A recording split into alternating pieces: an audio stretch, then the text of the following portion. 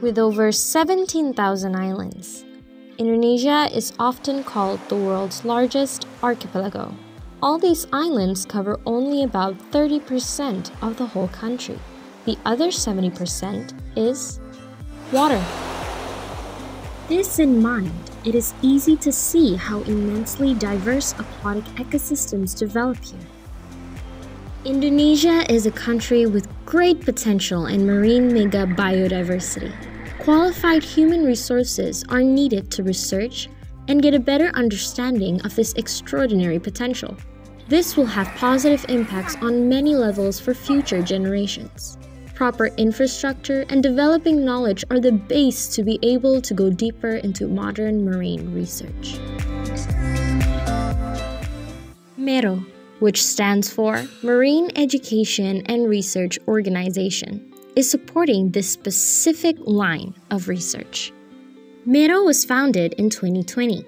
This institution is located close to the sea on the famous Seraya Secrets muck dive site in the Tulamben area.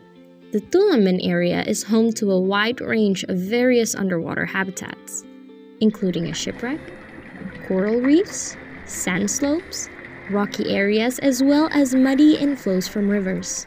MERO students have the possibility to explore biodiversity directly by diving here.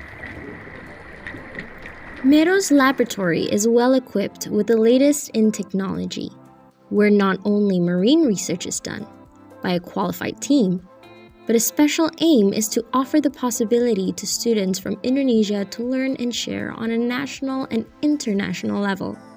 Already, collaborations are active with many national and international scientists and students. MERO's laboratory provides research equipment for microbiology, morphology, chemistry, DNA processing, as well as a scanning electron microscope.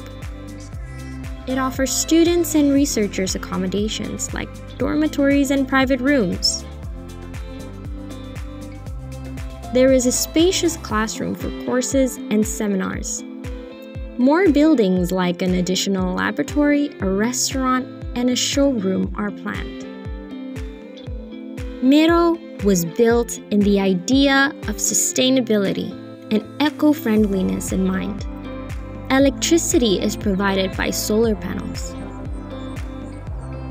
Wastewater gardens take care of the sewage. Garbage is separated and the organic parts directly composted on the grounds.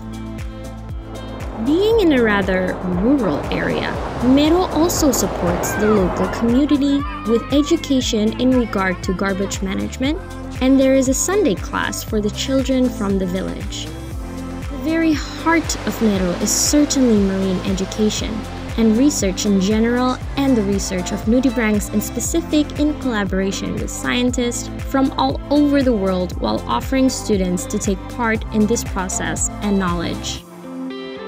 MERO is ready to welcome interested students and researchers.